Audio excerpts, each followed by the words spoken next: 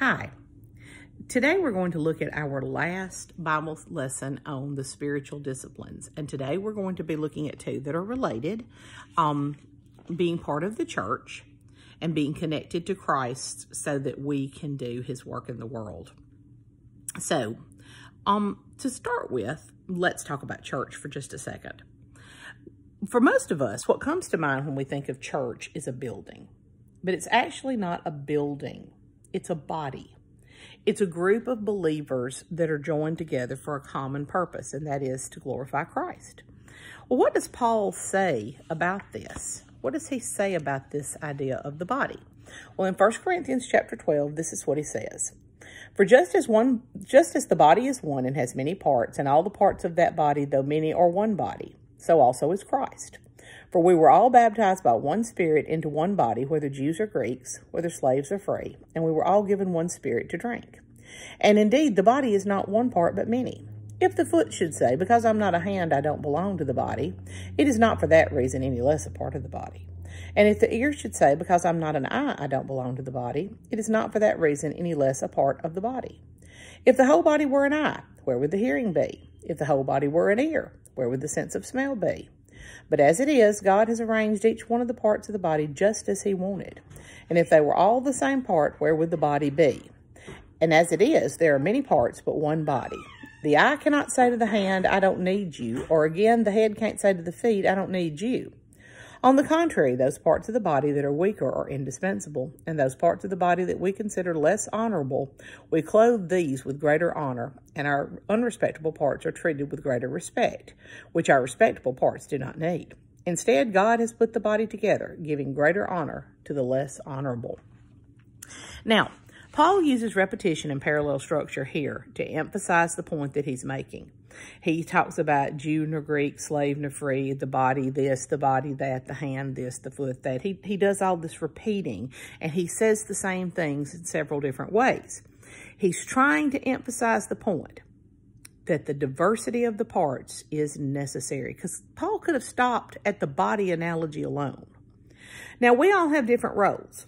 But we all have to pray, give, and support ministry. We have to share our faith and make disciples.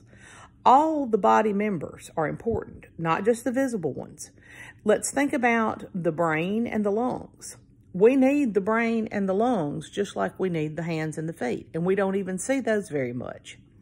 Well, what Paul is saying here is that we've got to have all the parts of the body for the body to work properly in the same way. We've got to have all the parts of the church for the church to work properly. It's not all about one person or two people or a small group. It's about everybody. So, if our church is going to be healthy, if our church is going to work together, we have to work together like the parts of a body do. We don't work against each other. We work for each other. Now, the Corinthian church was not perfect. They fought a lot they had um, problems with cult of personality. This group wanted to follow this pastor. This group wanted to follow this leader. They had a lot of problems with trying to be, trying to better each other. They had problems with self-centeredness. But the thing about it is, we, like the Corinthian church, have to learn to work together in all of our diversity in order to make God's work in the world work. Now, Jesus has something to say about this too. This is in John chapter 15. And this is what he says. I am the true vine, and my Father is the gardener. Every branch in me that does not produce fruit he removes, and he prunes every branch that produces fruit so that it will produce more fruit. You're already clean because of the word I've spoken to you. Remain in me, and I in you. Just as a branch is unable to produce fruit by itself unless it remains on the vine, neither can you unless you remain in me. I am the vine. You are the branches. The one who remains in me and I in him produces much fruit because you can do nothing without me. If anyone does not remain in me, he's thrown aside like a branch and he withers. They gather them, they throw them in the fire, and they're burned. If you remain in me and my words remain in you, you ask whatever you want and it will be done for you. My Father is glorified by this, that you produce much fruit and you prove to be my disciples. Now, what is Jesus talking about here? Well, to kind of put this into perspective, a very wise man by the name of Henry Blackaby once wrote a Bible study called Experiencing God. And one of the biggest takeaways for, from experiencing God is that we should look around us and see what God is doing in the world, in our world around us, in the world, it's in the bigger, larger world itself. And we should join into what he's doing.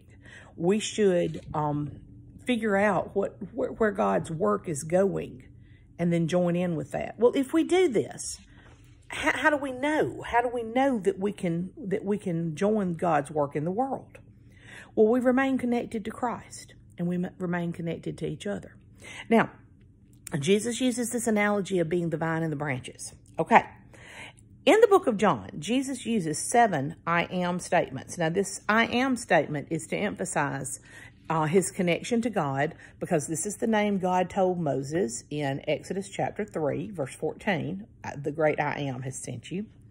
And Jesus told his disciples that he was the bread of life, the light of the world, the gate, the good shepherd, the resurrection and the life, the way, the truth, and the life, and the true vine. Now, all of these are everyday examples. He did not pick some weird something that they wouldn't have understand understood, like, you know, I'm the computer, uh, you are the computer monitor and I'm the internet. He didn't pick that. He picked stuff like bread and gates and shepherds because this is stuff they were familiar with. And they could understand how Jesus was necessary. They understood how all of these things were necessary to their life and how that Jesus is necessary to our lives. He is the source of life, and without him, we're nothing. Now, vines and branches. Let's think about that for just a second. The vine being the, the, the root or the main trunk of the, of the plant. The branch being the offshoot. And these branches bear fruit. We as Christians are called to be fruitful. Now, what kind of, what is fruit? Well, you know, we have that whole fruits of the spirit, love, joy, peace, long suffering, all of that. That that's part of it. But fruit also has to do with how we are perceived to be Jesus's disciples. Do people see us being kind to one another and to other people? Do people see us meeting needs? Do people see us meeting physical as well as spiritual needs? Do people see us um, making disciples of others? That's what we're called to do. We cannot bear fruit without the vines. Without the vine, Jesus himself, we, we can't do this. We cannot function as lone rangers. We have to remain in him. Jesus said if your branches are not bearing fruit, they're going to be pruned away. That's an idea that, that, you know, of Christians losing their effectiveness, that are not part of, you know, the mainstream of life anymore and are not bringing people closer to God. When we remain in him, we are connected and we show others that we are disciples. We can change the world to give God the glory when we are part of part of the vine, when we are a branch that's connected. Now, we've talked about the spiritual disciplines of prayer and of fasting. We've talked about the spiritual disciplines of, of gathering together. But we've got to remain connected to each other and we've got to remain connected to Christ to be of any good and to bring glory to God. And that's what I hope that this study on spiritual disciplines has done for you. I hope that it's helped you see how to remain close to God in prayer and your Bible reading and how to be effective in the world. Let's pray. Lord, I just ask you to be with us now as we take, take this study that we've had on the spiritual disciplines. And that, Lord, we remember that we cannot do anything apart from you. And that without you, we are just like a, a broken branch that is unfruitful. Lord, help us to remain in you. Help us to remain connected to each other. Help us to remain connected to our role in the church. And Lord, never to take each other for granted. In Jesus' name, amen.